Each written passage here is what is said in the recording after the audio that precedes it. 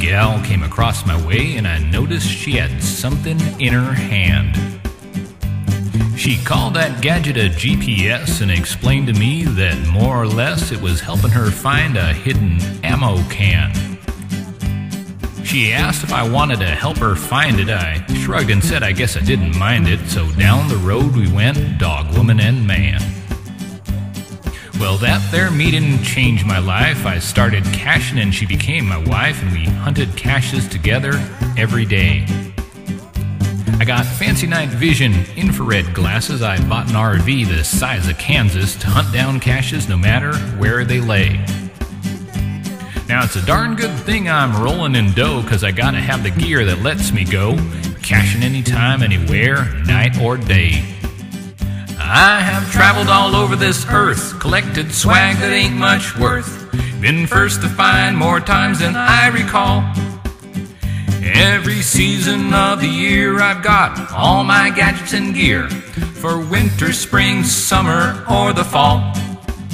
Searching all the rocks and trees, I even look for LPCs. I won't stop looking until I found them all.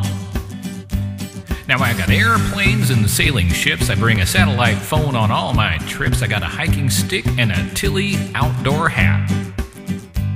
I got a Fisher Space pen to sign the log. I got running shoes so I can jog from cache to cache. Now, what do you think about that?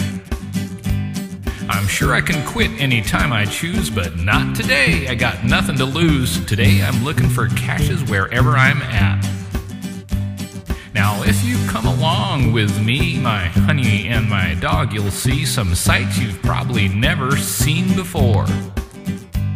And once you've gone a hunting with us, I guarantee without too much fuss, you'll be hooked and you'll be coming back for more. So grab your GPS and pack, feel the sun on your face and the wind at your back. One step, then another, and soon you're out the door. I have traveled all over this earth, collected swag that ain't much worth. Been first to find more times than I recall. Every season of the year, I got all my gadgets and gear for winter, spring, summer, or the fall.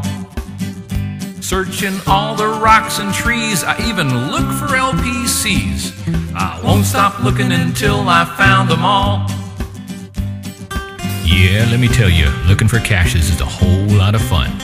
I met a whole lot of great people and seen some amazing things. And at the end of the day, before I head for home, I'll relax by, well, looking for some caches.